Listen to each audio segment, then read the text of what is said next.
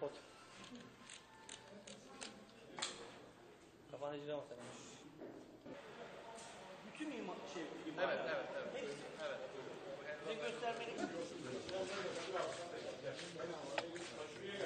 Dün itibariyle fili olarak Burnuger'de fındık almaya başladık. Dolayısıyla e, tüm fındık bölgesinde bütün kooperatiflerimiz alama hazır. E,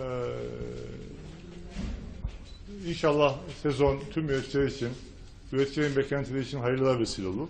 Önemli olan biz ne yapıyoruz? Biz, biz yani son 3-4 yılda bu yana olduğu gibi tüm bölgelerde alıma hazırız.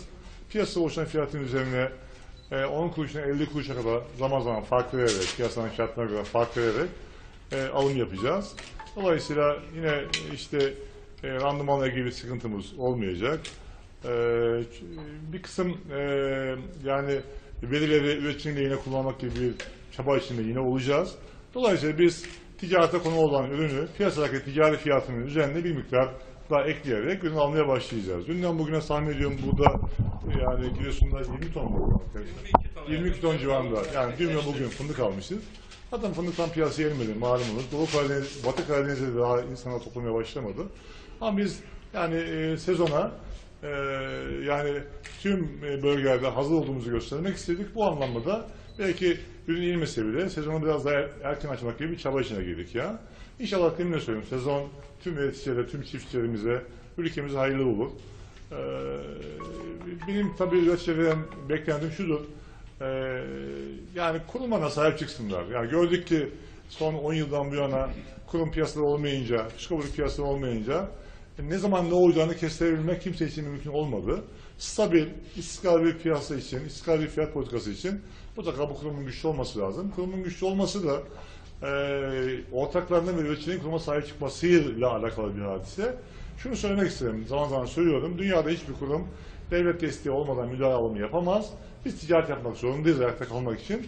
Ticaret yaptığımız, yaptığımız için eğer üreticiye bize destek verirse o anlamda güçlü e, oluruz. Güçlü olduğumuz müddetçe de üreticiye faydamız olur ya. Tekrar söyleyeyim inşallah sezon tüm üreticilerimize ve tüm çiftçimize, e, ülkemize hayırlı olur ya.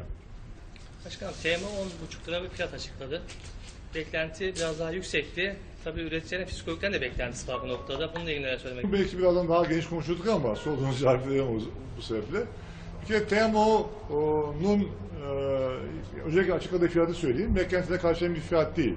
Aslında bana sorarsanız TMO'nun e, bu çıkışı geçen yılda olduğu gibi yani uzun vadeli plan ve programın sonucu değil de günü e, yakalamak, günü kurtarma ile ilgili operasyon diye düşünüyorum. Çünkü bu konuda bir bakanlığa kurulu karar yok hala hazırda.